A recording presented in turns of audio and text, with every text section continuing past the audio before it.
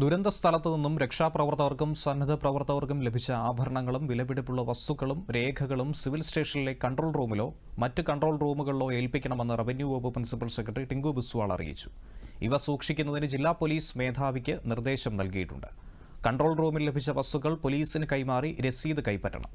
ഇങ്ങനെ കൈമാറിയ വസ്തുക്കളുടെ പട്ടിക അഡീഷണൽ ഡിസ്ട്രിക്ട് മജിസ്ട്രേറ്റിന് കൈമാറണമെന്നും പ്രിൻസിപ്പൽ സെക്രട്ടറി അറിയിച്ചു.